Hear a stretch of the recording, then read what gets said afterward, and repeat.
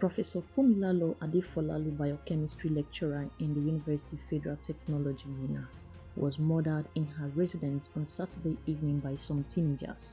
The prime suspect, 14-year-old Joy Afekafe, the former house help of the late professor, had been arrested by Nigerian Police Area Command Minna.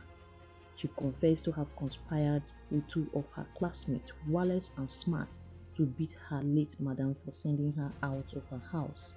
According to her, she said it was not her intention to kill her, but her friend Wallace suggested they kill her to avoid any trace, so they stabbed her with her knife and with the knife collected in her kitchen, adding that they left her house with phone, laptop, and her car battery. The Niger State Police Public Relations Officer DSP Abiodun Wasiu said the police are on the trial of Wallace and Smart, saying that investigation is ongoing as the case is being transferred to State CID for further investigation. Thanks for watching and please do not forget to subscribe to my YouTube channel, Angel NG. On entering the house, I just told that I just came to see her. okay. Then from there, what happened?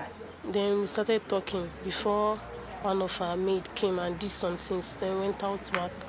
So it was from there Wallace and Smart came inside the house.